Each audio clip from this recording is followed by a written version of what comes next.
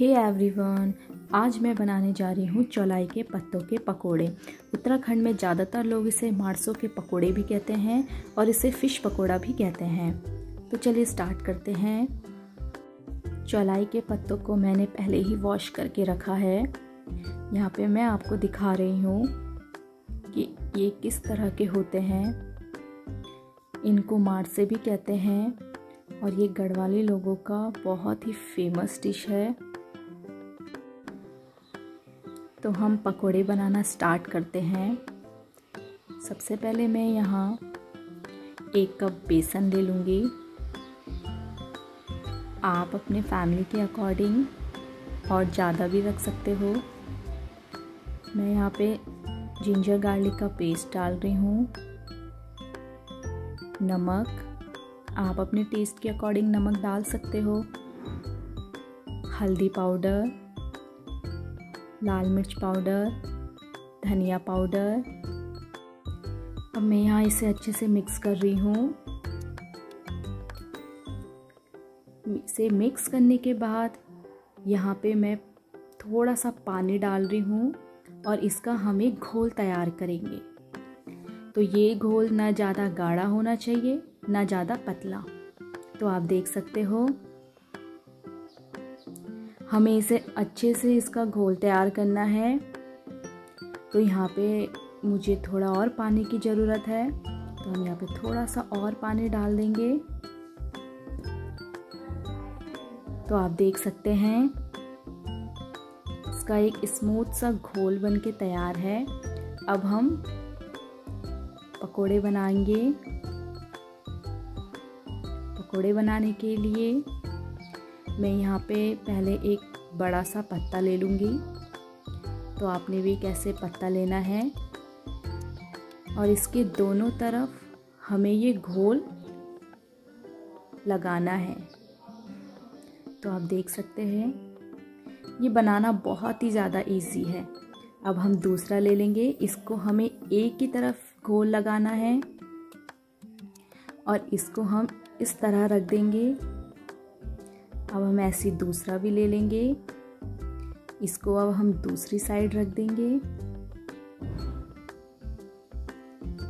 तो आप देख सकते हो, ऐसे करके हम और पत्ते ले लेंगे। और इनमें ऐसे घोल लगाते हुए हम ऐसे करके ऊपर की तरफ़ रखते रहेंगे।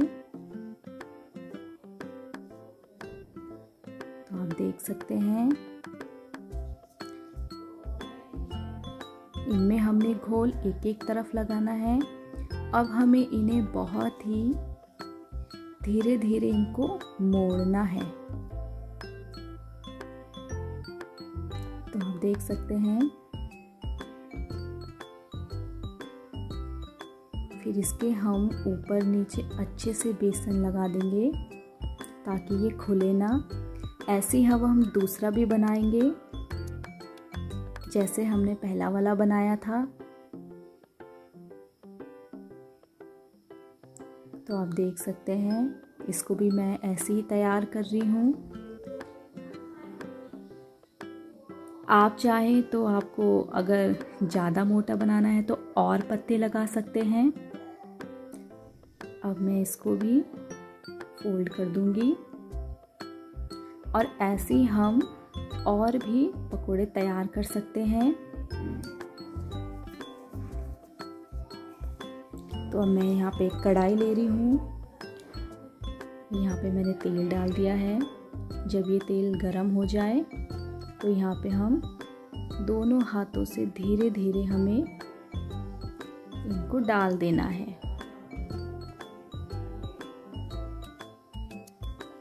पहले हम ऐसे तीन तीन, चार चार डालेंगे।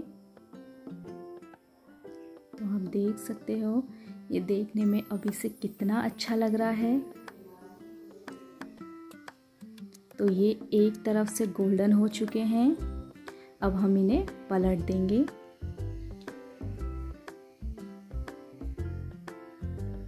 तो हम देख सकते हो, हमारे पकोड़े बनके तैयार हैं। आप भी इन्हें इस तरह बना सकते हो। और ये खाने में बहुत ही ज़्यादा क्रिस्पी होते हैं। अब हम इन्हें निकाल देंगे। तो आप देख सकते हैं, ये दिखने में कितने ज़्यादा अच्छे लग रहे हैं। हमारे फ़िश पकोड़ा बनके रेडी है। आइए आप भी खा लीजिए। आप चाहे इन्हें फ़िश पकोड़ा कहें, या मारसा के पकोड़े कहें, या चौलाई के पकोड़े कहें, बात एक ही है। इन पकोड़ों की शेप लग रही है ना, बिल्कुल फ़िश की तरह, इसीलिए इन्हें फ़िश पकोड़ा भी कहते हैं। अगर आपको मेरी ये रेसिपी पसंद आए तो मेरे चैनल को लाइक सब्सक्राइब एंड शेयर ज़रूर करें। तो मिलते हैं ऐसी एक नई रेसिपी के साथ।